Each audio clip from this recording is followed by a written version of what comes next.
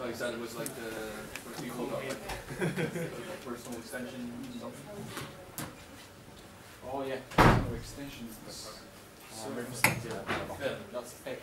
exactly, yeah. They, they was at a meeting yesterday, but it was like a couple of weeks ago, it says we had, this week we had a lecture, next week Extension on the or extension on the proposal. Okay, let, us get started. Uh, today is our uh, last lecture um, and seminars. And uh, then it's, uh, I, will be around for any questions uh, uh, with feedback to your assessment. Yeah, so um, I, I will publish as well um, your journal. If you hit over 50 yeah, in the journal itself, in the article, it will be published in the journal. Yeah. So this is a premises. So. Um, I, I may have to edit things in your essay if you haven't complied with the template. So be aware of that. But uh, um, otherwise, uh, it's normally quite straightforward. So this should be actually published uh, um, before Easter break. So we will have a spring break um, from next week onwards, Friday onwards. Uh, so just when you're coming back from the Project Eden project, uh, um, then uh, after Friday you have basically a spring break for three weeks, yeah, where the university is open, but I think the, a, a lot of the uh, lecture, well, a lot of the staff normally take holidays, so be aware of that. Yeah. Uh, uh, not not so much with me, but uh, others do. Okay, um, today I really want to uh, um, kind of follow up the uh, a little bit of the project governance. Uh, we, we had aspects of it already and then dive a little bit into ethics. Um, this is mostly due to uh, um, kind of a call for uh, professional ethics. This comes uh, mostly from uh, um, Anglo-Saxon countries, really, uh, uh, from America. Um, in Great Britain, we have taken this as well up, where we have now a lot of professional ethics standards. So I'll talk about that a little bit. Um, if you're in a German-speaking country, if you work there at some point, you will see, uh, you will notice the exit, uh, ethics mostly through not being there. Yeah? So uh, there, there, are not a lot of professional standards actually in uh, uh, German-spoken countries, as well in other countries. Um, the ethical standards are not really uh, um, written down. Yeah? So this is quite an interesting one, but we come to that in a second. So first of all, I want to tell you a little bit where this is coming from. And uh, the, the issues are actually quite concrete. Uh, um, so why are we needing governance? And uh, um, governance is here already a role implication of uh, um, ethics yeah, as an essential of the project manager.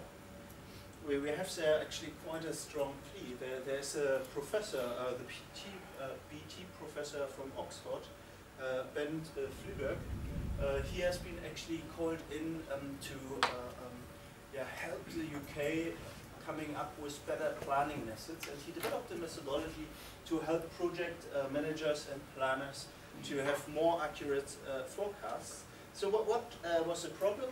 Uh, first of all, it was the observation that we have been planning for over 300 years, and in 300 years, there is very little evidence that we are improving in planning. This is a surprise, right? Uh, it was a surprise for me. Yeah. But uh, okay, so forecast of cost, demand, and other impacts. Yeah, this is as well uh, um, uh, um, uh, criteria or speci specifications that you are agreeing. Uh, impacts of planned projects have remained constantly and remarkably inaccurate for decades. and so our planning is uh, in, if, if you give it plus minus 20 percent, yeah, which is a lot, it's 50 percent, then we have in, uh, improved actually slightly. But uh, um, this is of course quite concerning because technically we have now uh, wonderful BIM models and uh, uh, information uh, systems and communication tools that should really kind of flatten this inaccuracy out, but it hasn't happened.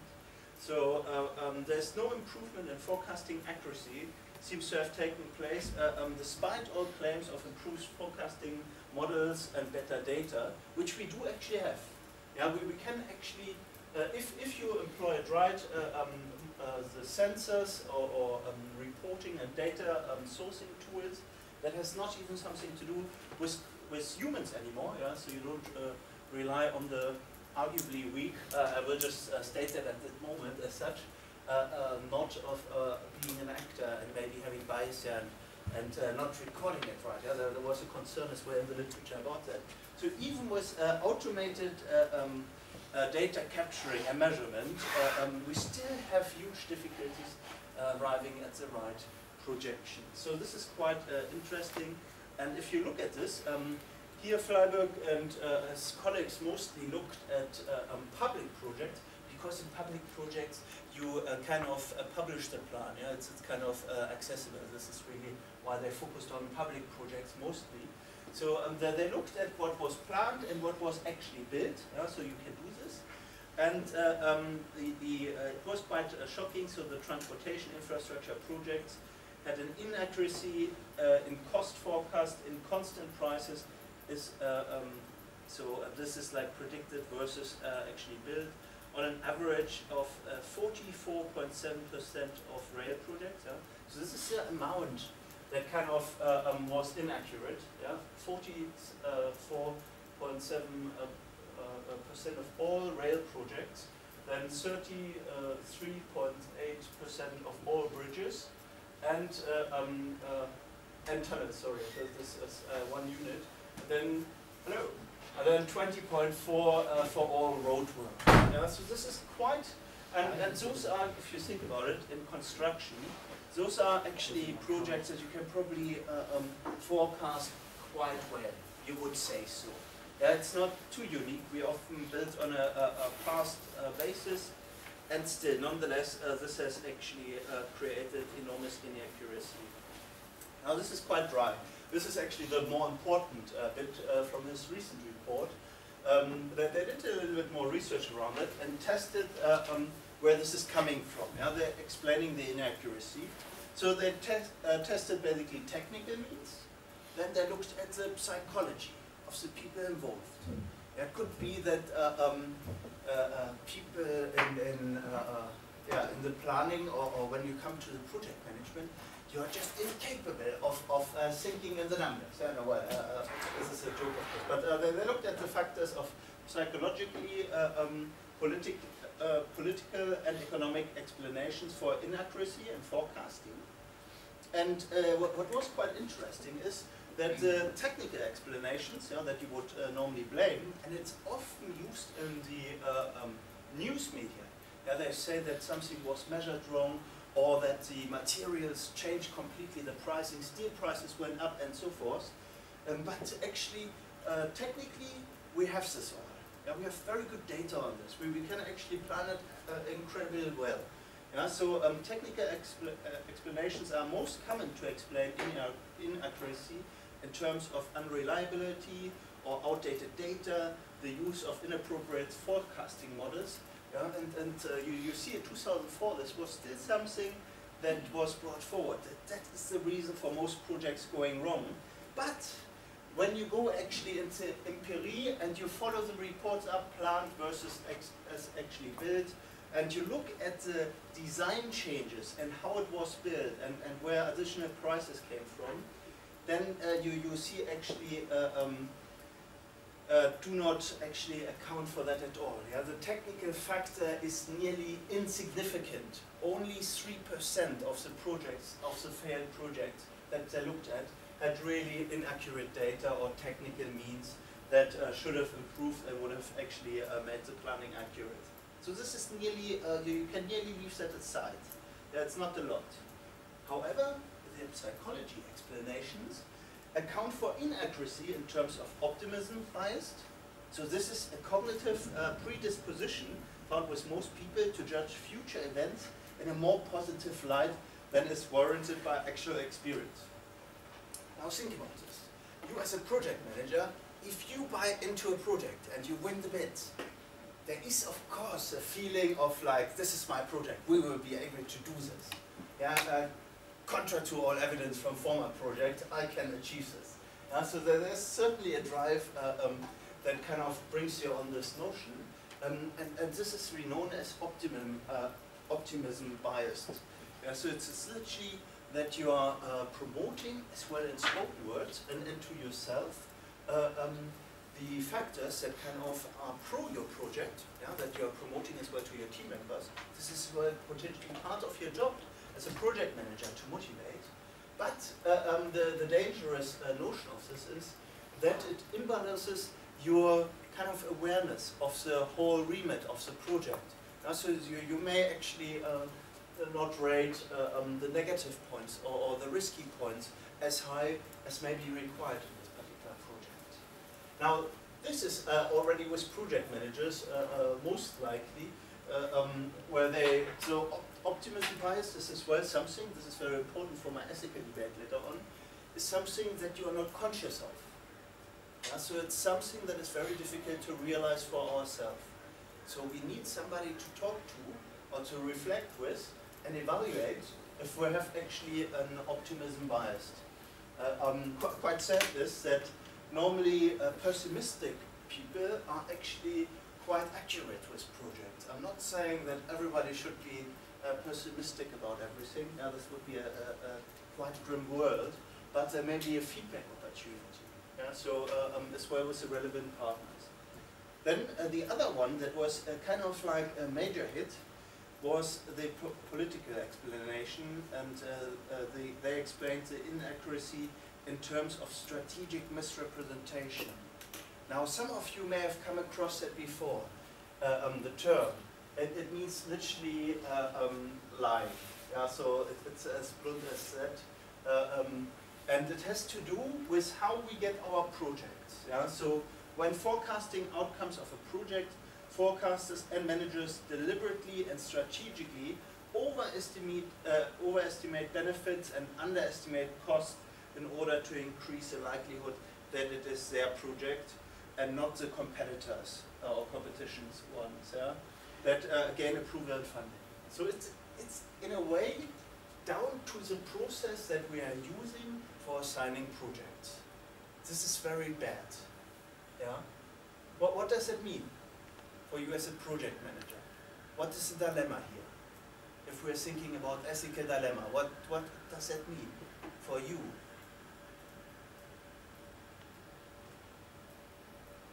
Do, do you see the dilemma?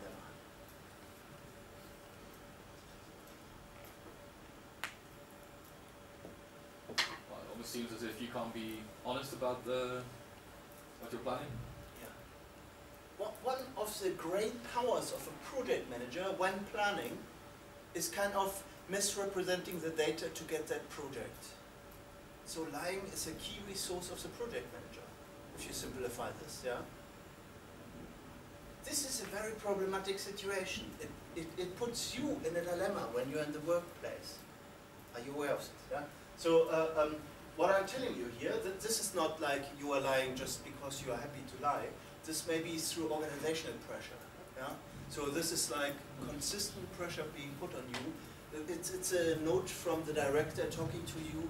Uh, by the way, we really need this project to balance our books this year. Yeah? this is kind of a bad start. This is a little bit uh, positive bullying from your director, yeah, for you to push on with a, a, um, a project. Yeah, so um, th this is in a way a, a core issue. Yeah, uh, um, this has been, of course, uh, um, been described by Ralf Müller. Uh, um, unfortunately, not Robert Moehler. Yeah, I would have liked that, but uh, um, because it's a very good piece of writing as well. Yeah, he, he goes into Michel Foucault's uh, work here, which is a beautiful read. Yeah, uh, I wouldn't recommend this uh, this semester anymore. But maybe if you go for Easter break to Paris, yeah, and, and uh, you need uh, either wine or extended coffee, yeah, and then you drink that, uh, you, you, drink the drink and read the book because it's heavy. Yeah, but um, if you then read it, so um, to literally give you the quote, this is where governance comes in, and this is where the disconnect is between organizational contemporary governance and the project governance. Yeah? But uh, uh, Michel Foucault was aware of this. This is actually bad referencing. Don't reference I did there. Uh, Foucault's uh, philosophy of neoliberalism, in which individuals are not directly steered by their supervisors, but through subtle forces in the society or company or organization in which they live or work for, uh, to develop a strategy for creating a domain whereby individuals are responsible and engage in self-care. Sometimes the self-care, so what I've just uh, uh, explained in the former, is driven on the organizational level, yes, you being employed in the company, and it can be so pressing that uh, to be part of this company, you make maybe unethical decisions. Yeah? So this is a common phenomena in our industry. This is not a small number. Yeah? So in the past, you, you have a chance to change the statistics, of course. Yeah? If you are being now a good project manager and you don't fall into those tricks, yeah, then the statistic will be better in the future. Yeah, but currently we are still looking backwards, so our statistic is pretty good. Yeah, that is what happens in practice at the moment. Yeah. Then there's of course as well the external environment provides a context in which the project is activated and realized to work on and, and for further projects of course as well. Yeah, so this is kind of uh, um, where, uh, where we are sitting. And again, I, I postulate once again, yeah, so uh, I will present in a second our ethical codes. After this insight, a kind of a polemic for project manager. Yeah, so uh, you, you are coming from university, going into pro project management. So those are the people in the company will expect you to get the projects. Yeah, so all I'm saying is that there's a huge dilemma in this. Yeah, and uh, it, it's of course uh, um, a plea to you yeah, to, to kind of find an ethical uh, theorem that works, yeah, where you don't cross the border and where you are legally and responsible, of course. But we come to that in a second. Yeah? And of course, oh sorry, I forgot the, uh, the title. Yeah, so uh, this is the most important part. This is you. Yeah? With great power comes great responsibility. Brings great, ah, okay. So, but you, you get that, yeah? This is you. Uh, um, uh, it brings great responsibility for you. Uh, um, so what and who does it involve? Uh, um, now this goes again back to Müller. Uh, Müller was quite pragmatic about it.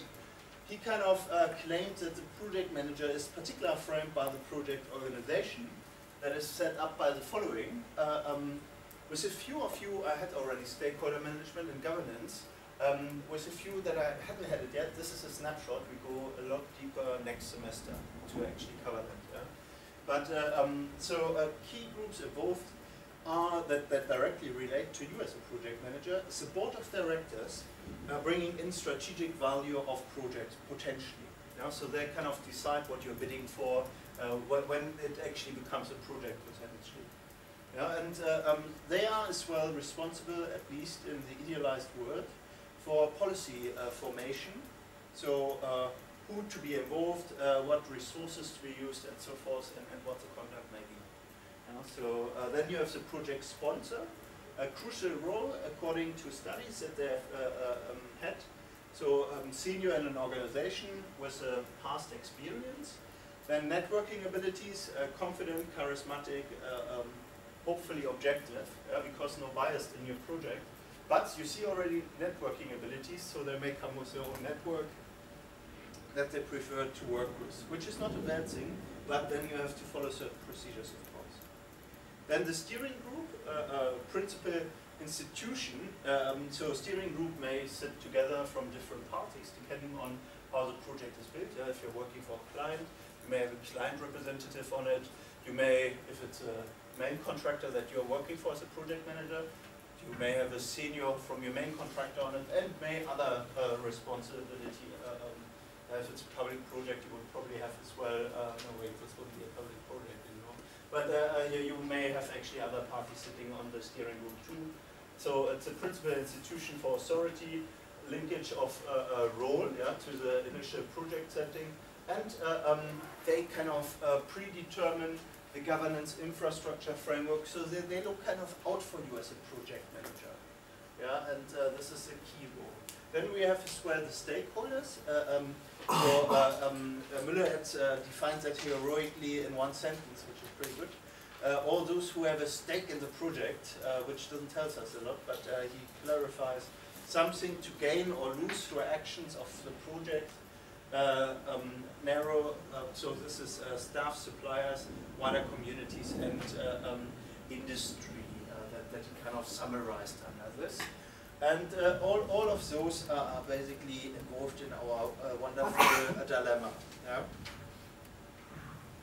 now, to, to give you a small snapshot, I have as well a case study Oh. that I wanted to kind of describe a little bit where the dilemmas may actually hide. And uh, uh, one such thing is really, uh, um, this was a recent uh, project uh, um, that really looked at uh, power expansion. So uh, you, you may have followed this in the UK. Um, we, we are building a lot of new power plants and we are extending the energy grid. And from this, uh, um, they, they were basically different uh, projects coming in with a whole raft of new supply chain and uh, um, uh, consultancies as well that, that wanted to deliver those. So here it was really an engineering construction project. So global industry deals uh, with large infrastructure and energy construction. Uh, governance structures encompassed uh, complex internal and external networks. Uh, so there are particular requirements. Uh, so those are, are products, for example, that you place. So um, something like a turbine, uh, uh, um, a steam turbine uh, uh, would be normally uh, ordered as a product. You don't want to assemble it on site, well you do to a degree, but uh, um, you basically want uh, um, yeah, uh, the, the parts that are a little bit more demanding being assembled before. Yeah? Then you, you had uh, um, in UK sporadic subcontractor opportunism with regard to a social partner agreement. Yeah? This is a particular uh, um, contract form that was used and uh, um, that, that meant basically as a main contractor you could bid for the project and then progress it uh, um, accordingly to your supply chain. But there were a lot of specifications so in the project, they knew that they needed to work with new subcontractors because there were certain parts that uh, they could actually not get from their old supply chain, which is uh, tough. Yeah. Then uh, um, they had many procedures, including project uh, forums and audits uh, in place, but uh, projects still underperform. Uh, the, the, we will come to that in a second. UK uh, projects criticized for being over budget. This was Her Majesty's Treasury.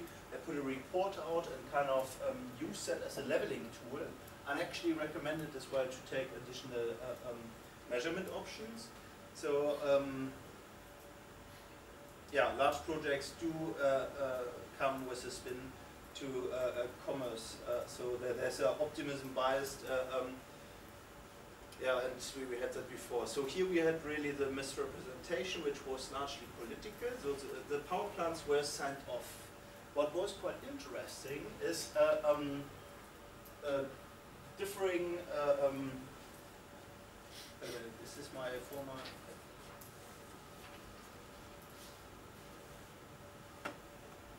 Yeah, so basically uh, they, they brought a lot of uh, uh, new networks in.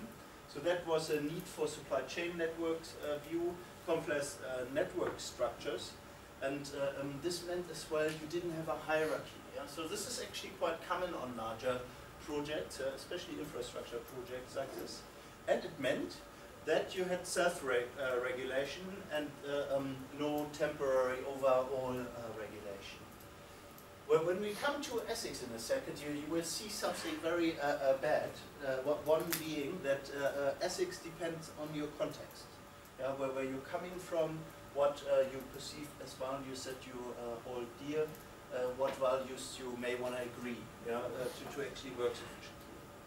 So the project, actually I, I leave you the link uh, um, where we can watch that in the seminars and use it as a discussion ground. Uh, um, and, and the project was uh, uh, called Lindsey. Uh, and uh, um, the, the fascinating involvement was really that the cost pressures, meaning that contractors did not always follow uh, governance regulations, so this is actually nat- national regulations, of who should work on the project and uh, to, to what uh, um, yeah, laws they should comply. So it's, it's actually quite common that if you uh, um, get a subcontracted project, especially if you're from another country or another region, that you may bring your specialist team along. Yeah. So uh, um, now the problem with this is that in the UK we have actually legislation that allow it, but you have to illustrate that the skills and competencies are at the right level, and that you there's as well a social notion, so that you can work in a construction team in the UK. So at that uh, uh, point, they basically overrode that because they had specialist units. So uh, um, another complaint was really a lack of consideration for the uh, wider local economy, by subcontracting and by enforcing basically the cheapest deals, they kind of, by implication of course, meant that they had to go for specialist contractors and couldn't wait to train up locally uh, um, trainees or even letting uh, um, companies adapt and, and try out certain parts of the project. Uh, so it was a very strong drive and uh, uh, Fitzgerald uh, um, worked here actually in the UK on this and he was very passionate about it and felt that it was a missed opportunity, which it was. Yeah. So what, what are the dilemmas that actually come up in a project like that? I, I hope uh, um, you, you, get uh, um, uh, the, the idea a little bit of the project. There were agency issues with Total, negation of responsibility.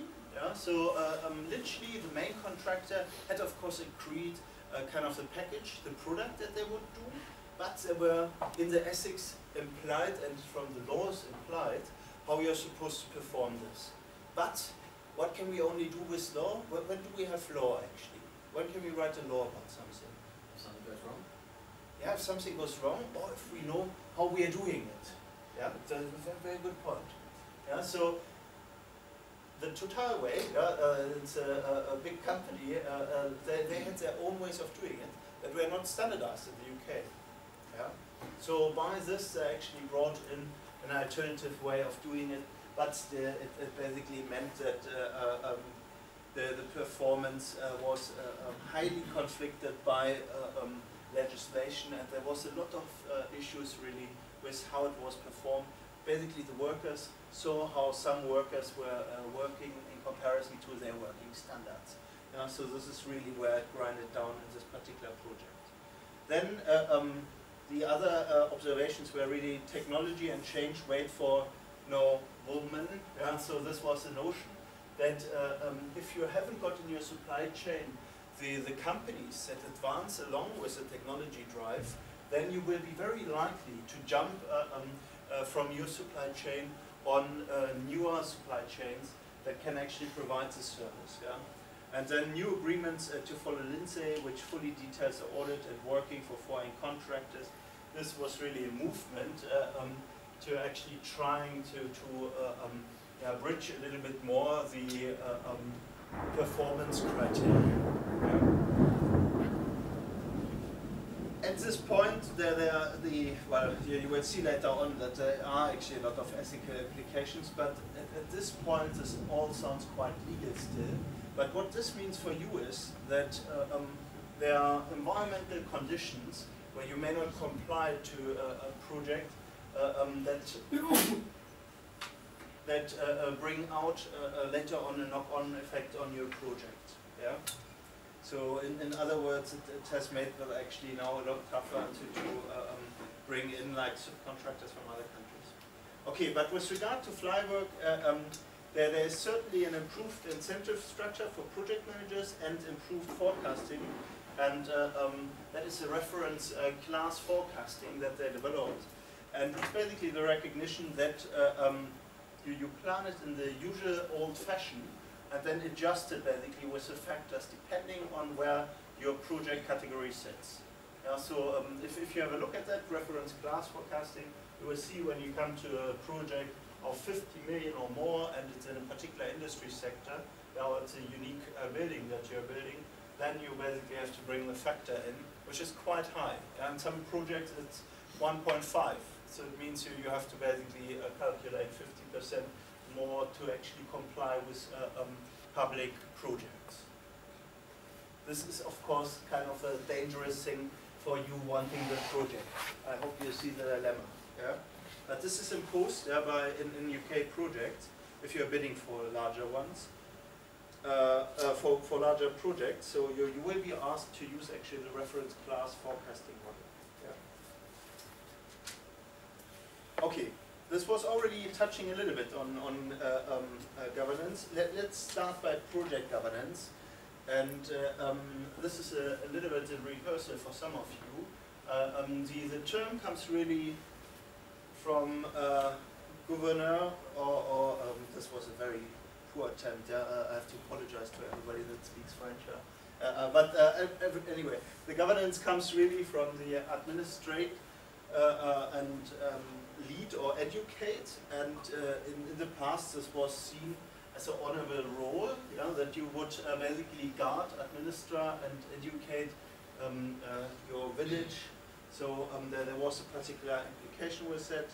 Um, the forces that you actually have with uh, such and structures, we have covered them a little bit, are hierarchies, um, uh, communi- communities or the society. So uh, in, in some areas it's actually a few. Yeah, so if you're in the Middle East, you will see it's often uh, different. Uh, um, yeah, so uh, in English we would probably heroically say tribes, but this is not fully true. But you, you have different communities that come actually together as one society based on the locality. Yeah, so there may be uh, spatial arrangements. This is not uh, very uncommon around the world, but that is probably where you have it the most often, instead of one society idea. Yeah. So uh, then you have uh, markets or the market. Yeah. Uh, um, um, what what is the difference?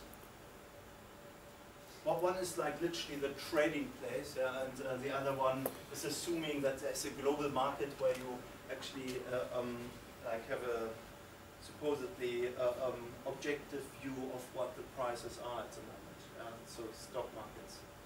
Yeah? Then you, you have as well networks that, that influence you. And uh, uh, with this comes, of course, accountability, responsibility, and transparency and fairness that sits within this. Yeah, so uh, uh, quite, quite straightforward in, in a way. Yeah, so uh, um, oh, we uh, yeah. The so a project uh, um, can of course underperform, and this is directly linked back to the the structures, if you want. Yeah? So um, when it comes to cross-functional or cross-company management of many projects, can provide a fertile ground for project failure.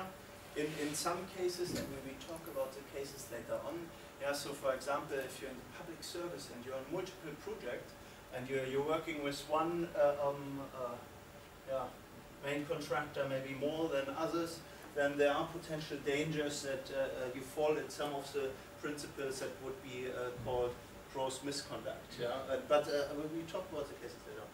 So and then you have the poor performance of uh, of projects can often be attributed to lack of information management, project monitoring and control. This is again the hard notion. And then, of course, a lack of transparency and proper financial control of organizations has often led to corporate failure and scandal. So this is again a little bit more on the uh, technical side, but uh, uh, key essentials for us.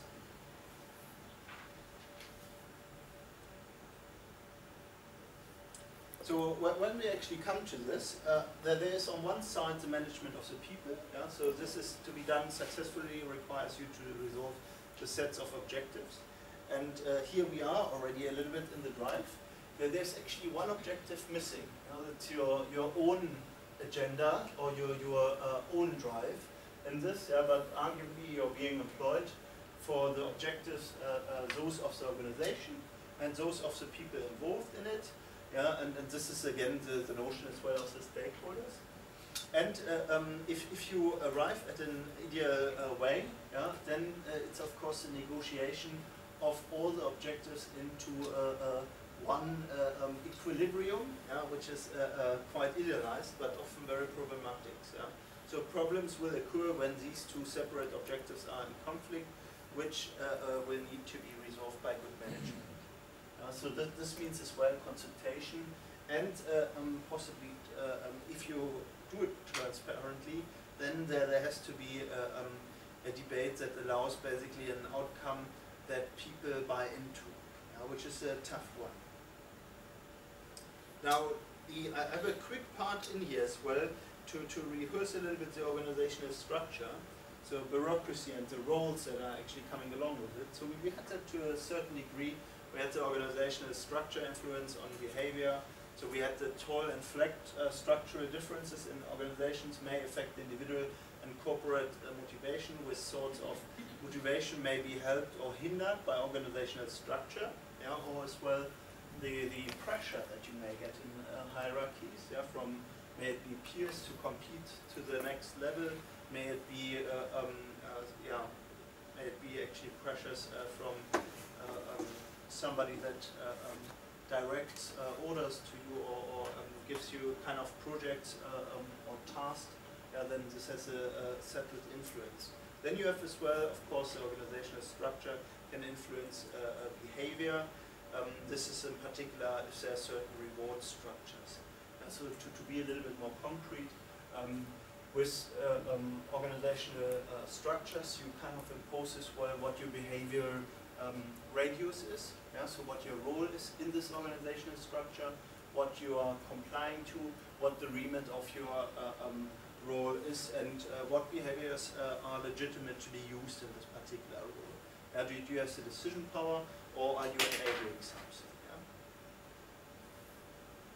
So the, the different notions here uh, that I wanted to rehearse quickly is the bureaucracy has tended to dominate large and modern organizational structures, stresses the definition of roles and their relationships. Hierarchy uh, refers to the number of levels to be found in a particular organization, and organizations may be defined as goal-oriented systems seeking effectiveness and efficiency. Uh, th this is, uh, organizations are as well, uh, um, I don't want to confuse you too much, but uh, organizations can be as well the Association for Project Management, for example, yeah, and, and they have maybe goals for you to be an ethical, uh, um, conscious project manager, yeah, that you perform a certain uh, setting. So this may be an effectiveness and efficiency uh, goal for them. Yeah, so just to give you an idea.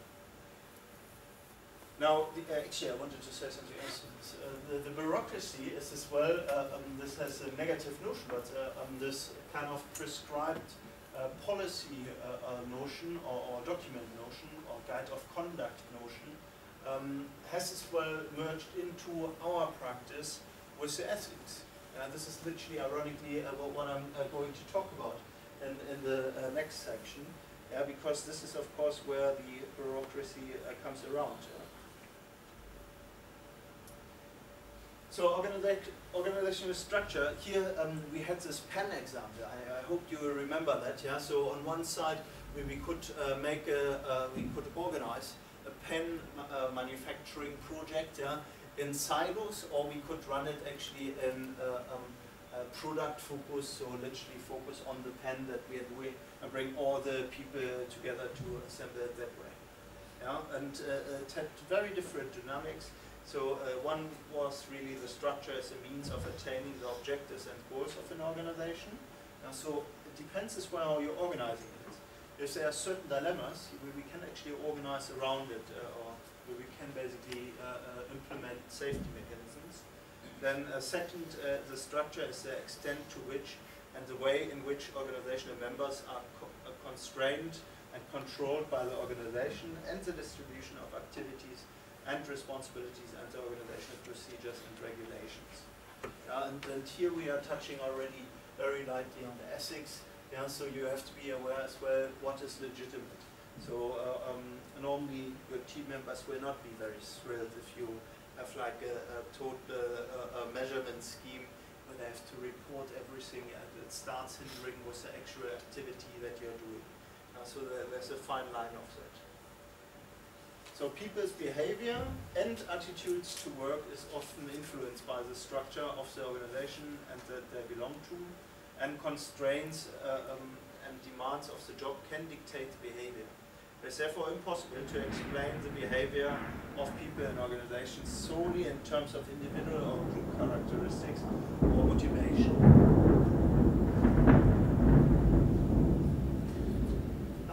so um, with this notion, yeah, you, you uh, uh, can kind of see if, if you, we had that before, if you uh, manage it too tightly, uh, if your organizational structure is very prescriptive on the role and you have a small remit, this may work well for some time, but uh, you, know, you may constrain people, constrain people beyond their feeling of development achievement.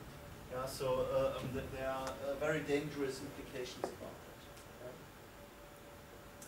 so, um, so if you want to uh, uh, look at this in a little bit more detail, uh, um, there, there, are work methods to be used, yeah, and, and, this depends very much on the setting that you're in. So have a look actually with the teams that you're working, that you have a good idea, or, or ask them, yeah, uh, to a degree, uh, how they have worked in the past. That gives you normally a very good insight to actually get your head around uh, what is expected. Then types of communication systems used. This is a very important one. Sometimes uh, there, there's expectation of um, decisions being communicated, yeah, to, to be uh, kind of followed. Then in other one, uh, in other systems, it's uh, kind of expected that you are consulting yeah, for their professional expertise. Uh, this is pr- probably the most contrasting that comes to mind uh, my uh, uh, mind at the moment. Yeah, but um, they have very different implications about communication, how you communicate, and where expertise and responsibility sits. Yeah. And then, of course, the performance judgment methods. So, for that, you, you kind of have to agree on a performance. Yeah. And, and uh, uh, do, do you measure just the product, or actually do you measure as well how they are doing this? So this is micromanagement. Uh, uh, that is a danger for internet. And then can all influence dictate uh, um, behavior? Of course, all these settings have an implication and um, set as well potential um, yeah, um, response area in this. Okay. Yeah, this was a quick rehearse of the organizational um, structure.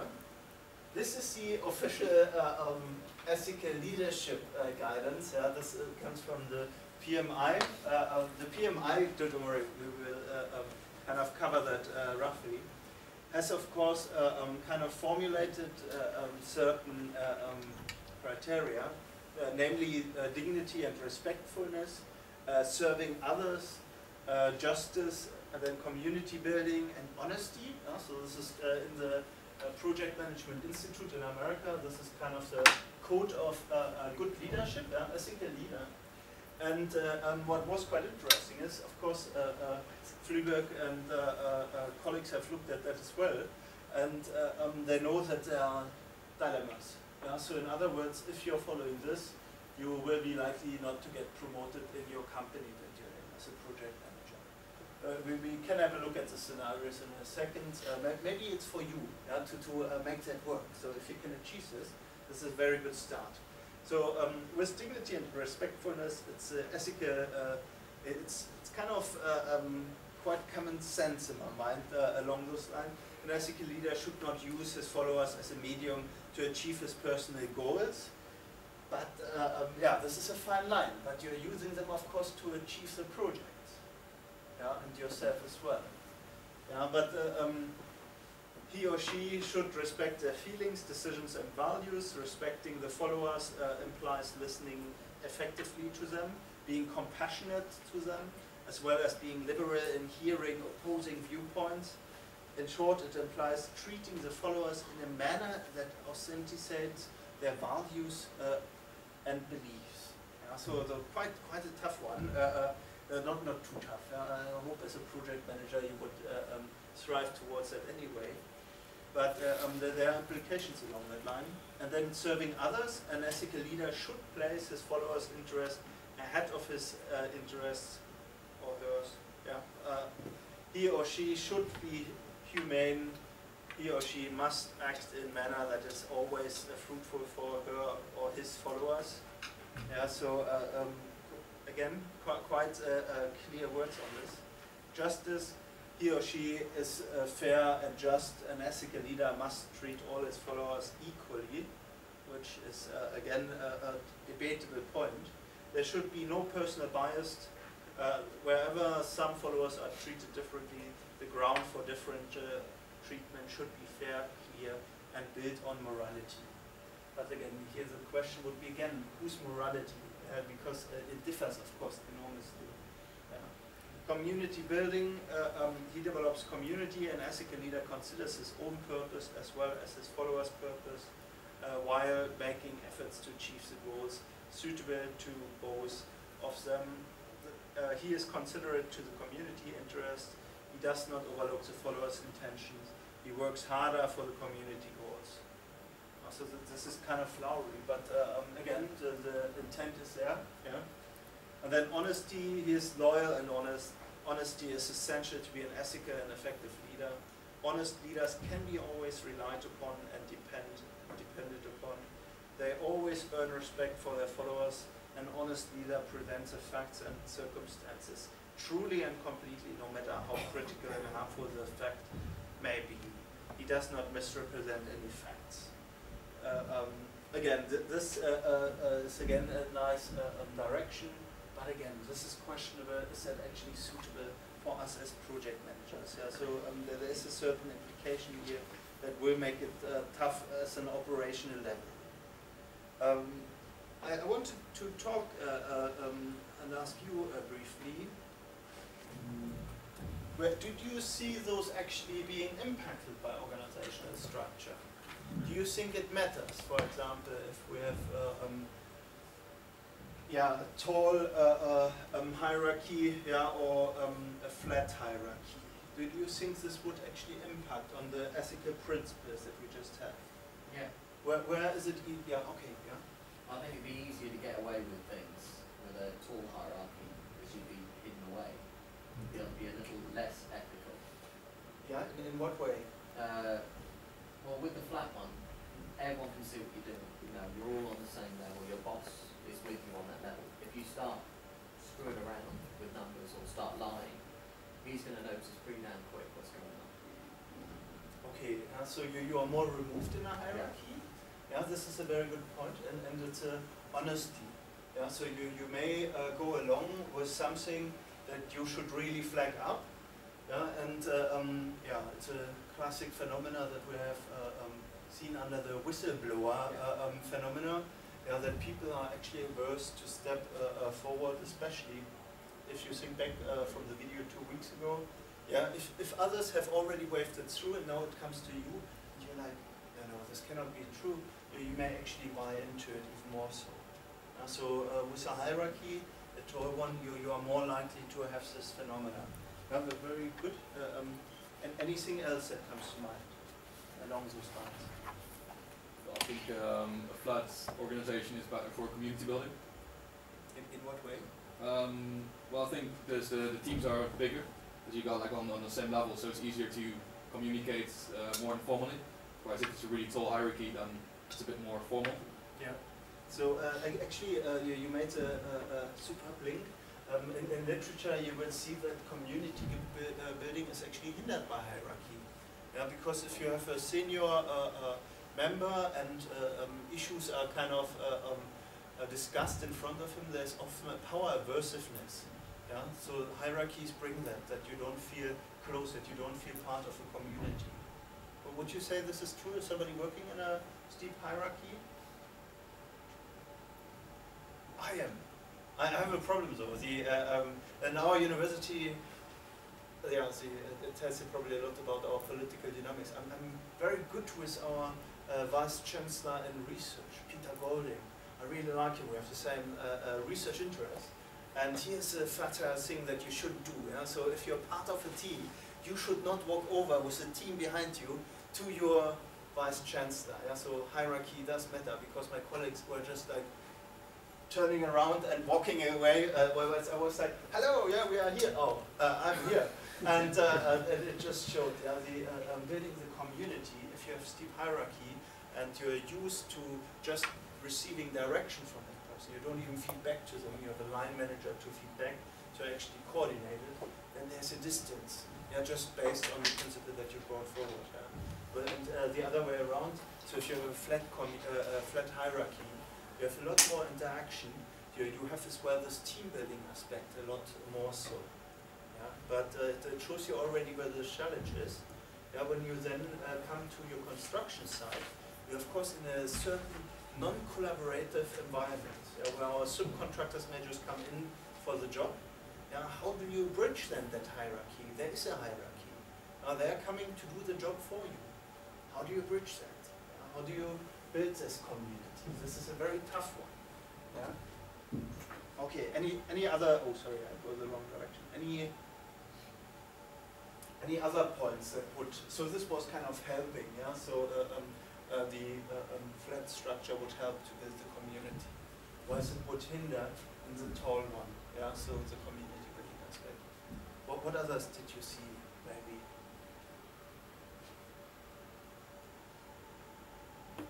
How, how about the justice?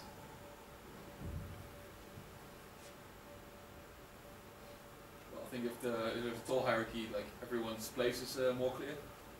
So if you want to say like you treat all your followers equally, I mean, you probably don't because there's like a certain hierarchy in it. Whereas if it's flat, it's easy to to treat people equally. So hierarchies have of course an implication, yeah? There's a power definition and uh, um, often you're being treated differently at the different levels, yeah? Of the hierarchy. And it makes this one uh, quite, quite difficult, especially if you have a team and have people from different places in a hierarchy, yeah? Yeah, but what about the first one, dignity and rex- respectfulness? Is that impacted? I would say on the flat, you have a bit more dignity and respect In, in what way? Yeah. a- a- as a human being rather than as a, a, a player.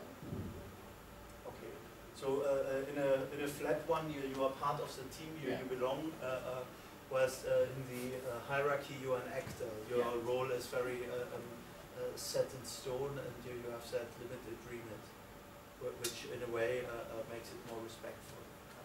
Suppose you you I. The, the way you have said it, I would say probably that it's a decision-making power that, that comes in there as well, isn't it? That, that is probably slightly different. So okay, but we have a rough idea, and uh, um, this is really more for you as an analytical tool. Uh, depending on the environment that you're in, you, you may be faced uh, with uh, um, certain ethical standards, and uh, uh, um, uh, then on the other side, um, you, you have the problem of actually adapting accordingly to this. Yeah. Okay.